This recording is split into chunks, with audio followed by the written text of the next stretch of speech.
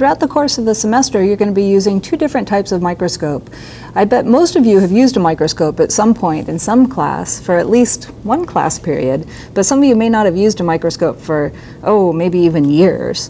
And so just to make sure that everybody's on the same page and that everybody knows how to use the microscopes that we have here at Stan State, we're going to be sure to train you pretty thoroughly the first day that you're using those scopes. And then we want you to practice those skills several times this semester, and you'll use them also in general bio So here we have what's called a compound microscope, and here's what we have uh, called a dissecting microscope. So the compound scope and the dissecting microscope, they're both light microscopes. That means that we either bounce light off a subject or pass light through a subject in order to look at it. When you're looking at things through the microscope, keep in mind that everything you look at is three-dimensional. And so if you adjust your focus slightly up or slightly down, what you're really looking at is more towards the surface or deeper inside the cells or the, the layers of that specimen that you're looking at.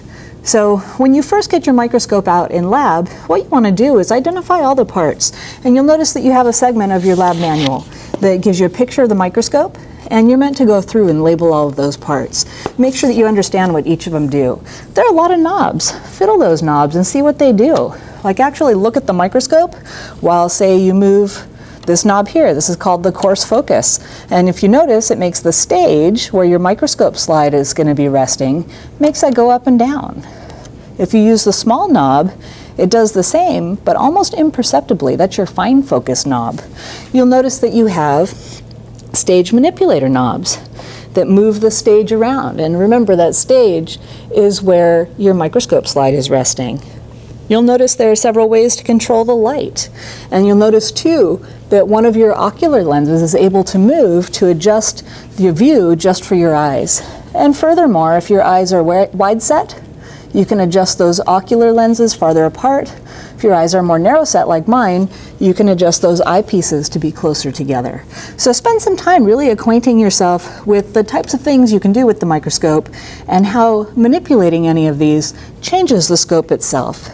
So it may or may not be the same day that you'll also be introduced to the dissecting scope. Sometimes we uh, introduce the dissecting microscope on a different day, just so you have more time to get comfortable with the compound scope. But the dissecting microscope has different advantages. You'll notice that the magnification power is not as high, but it allows you to place specimens directly on the stage. So you could even bring in a leaf from home or a mysterious insect, put it on there and get a look at it immediately. It has several different lighting adjustments, and there are some knobs that you shouldn't have to use, but a lot of students end up using them.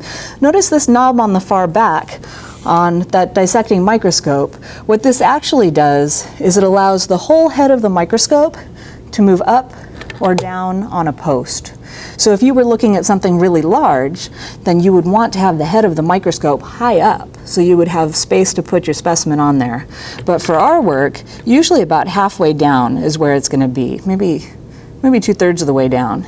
And you want to keep that knob nice and tight, otherwise the head is going to be slipping and it could actually be damaged. So when you first bring a dissecting microscope out, check that knob, make sure it's nice and tight, and then you're ready to get to work.